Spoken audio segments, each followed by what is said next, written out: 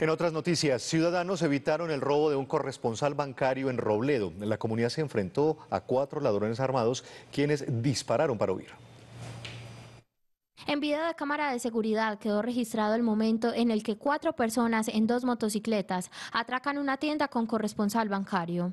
En medio de una discusión, una persona de la comunidad sale corriendo para atrapar a uno de los fleteros, mientras que otro se refugia detrás de un taxi en medio de disparos. Momentos después, los fleteros huyen sin poder lograr su cometido. En el lugar de los hechos no se presentaron heridos.